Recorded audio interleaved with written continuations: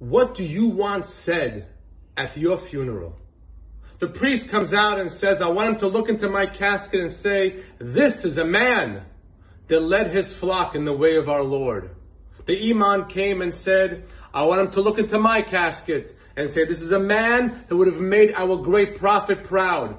And the rabbi said, I want him to look into my casket and say, I think he's moving. For God's sakes, get a doctor. Somebody. He's moving.